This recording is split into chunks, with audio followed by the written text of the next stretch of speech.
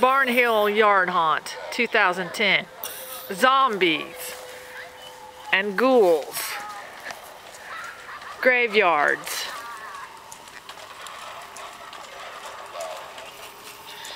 Death looking out over the graveyard.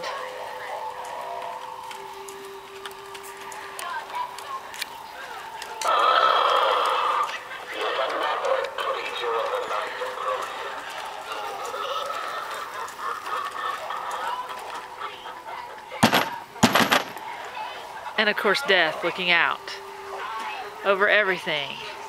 We have victims of spiders. Someone to welcome you. And of course, other things that may jump up at any moment. Oh no! And there's the witch. And she has a companion who's watching out for you.